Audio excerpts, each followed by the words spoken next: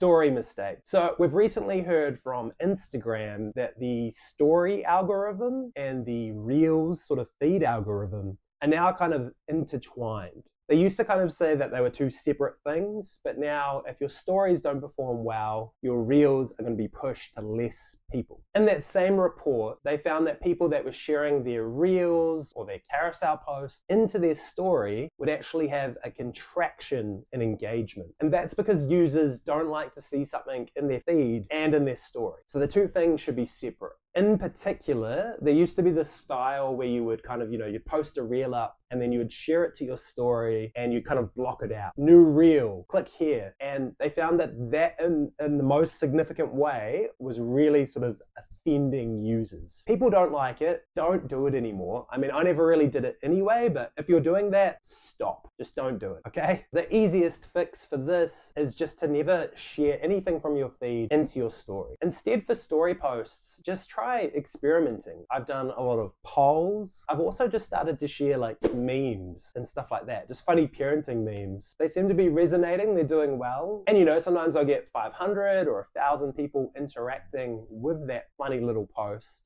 which means that the algorithm of the stories is hopefully happy with me and then it will feed into my reel and carousel. The biggest change that I'm going to make in 2024 is my hooks. And I know you've probably heard a bunch of Instagram guru people tell you that you need better hooks, but they often don't really kind of give you a structure on how to do that. So what I've done is I've put together all the different hooks that I've found from different resources online or videos I've watched, and I just chucked them into my free content calendar, which you can just get in the description below. And really, if you just implement these hooks into your videos, you're going to have way better retention. Because sadly, even if your videos have a lot of value, if you don't manage to hook your audience in, they're not going to see it. So invest time making a good hook. Make sure your hook is really worthy of someone's attention. And yeah, just borrow from my content calendar and, you know, adjust it. Don't do it exactly that way, but adjust the template for how it fits with you. And you're going to get way better reach and way better outcome. So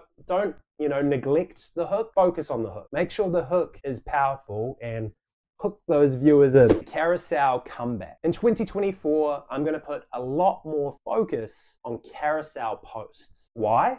Because Metricool looked at 300 thousand accounts, 1.4 million reels, and 2.4 million posts, and compared them between 2022 and 2023. And they found that reels are down a massive 76% compared to 2022. Now, there's a whole host of reasons for this. COVID's kind of gone now. There's way more people making content, so there's a lot more noise and competition out there. And a lot of people just aren't engaging on their phones. But one thing did increase carousels. Their engagement actually went up 15%. And seamless carousels, those ones we are looking at earlier, had an additional 13% increase. So we're talking about a 28% increase in that carousel space. If reels are going down and carousels are going up, you really want to ride that wave. So you really need to get into carousels. So I highly recommend, at the very least, you get into carousel posts, but really seamless carousels are they're where it's at right now. And on carousels, there's actually another type of carousel post that it's just kind of emerging now. Gary Vee has kind of been pioneering it, and from what he shared in his videos, it seems to be doing quite well. The idea is basically that you have a fixed image as your first carousel that has like a good hook but then your next carousel slide isn't actually an image, but a reel played within it. And from what Gary Vee said with his analytics, those videos were actually getting more watch time than just reels on their own. Now, I have only just started to experiment with this one, so I don't have any data on if it's good or not, but I think it's just another useful tool to have in your toolkit.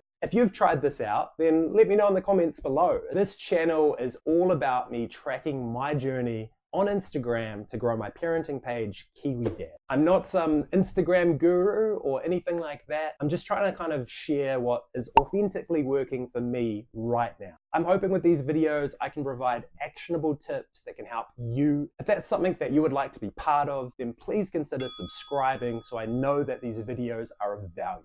Thank you very much, and I hope we can grow together.